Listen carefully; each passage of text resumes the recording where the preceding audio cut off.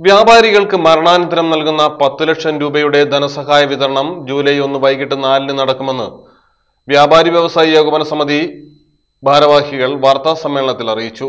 മലപ്പുറം ജില്ലയിൽ അഞ്ചു പേർക്ക് അൻപത് ലക്ഷം രൂപയാണ് വിതരണം ചെയ്യുന്നത്. Malappuram district traders welfare foundation സംഘടിപ്പിക്കുന്ന കുടുംബ സുരക്ഷാ പദ്ധതിയായ പ്രതീക്ഷ എന്ന പദ്ധതിയാണ് Malappuram district welfare traders foundation വ്യാപാരികൾക്കായി ഏർപ്പെടുത്തിയ കുടുംബ സുരക്ഷാ പദ്ധതി പ്രതീക്ഷയുടെ ഭാഗമായി ജില്ലയിൽ അഞ്ചു പേർക്ക് അൻപത് ലക്ഷം രൂപയാണ് വിതരണം ചെയ്യുന്നത്.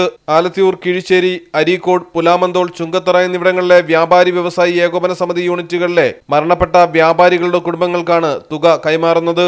അരീക്കോട് നടക്കുന്ന ചടങ്ങിൽ P K Basheer M L A P V Abdul Wahab M P എന്നിവർ മുഖ്യ അതിഥികളാകുമെന്ന് ജില്ലാ organising secretary Vinod P Menon പറഞ്ഞു. ചുങ്കത്തറ പുലാമന്തോൾ എന്നിവിടങ്ങളിൽ ജൂലൈ രണ്ടിന് ധനസഹായം വിതരണം ചെയ്യും. പതിനയ്യായിരം പേരാണ് പദ്ധതിയിൽ അംഗങ്ങളായിട്ടുള്ളത്. കൂടാതെ ചികിത്സാ ധനസഹായമായി മൂന്ന് ലക്ഷം രൂപ വരെയും നൽകുന്നുണ്ട്. Organising secretary Vinod P. Menon unit president V. A. Nasar vice president Gopalakrishnan M. Unneenkutty Moulavi T. C. Shafi Shareef Kalathingal തുടങ്ങിയവർ വാർത്താ സമ്മേളനത്തിൽ പങ്കെടുത്തു. മലയാളം ടെലിവിഷൻ മലപ്പുറം.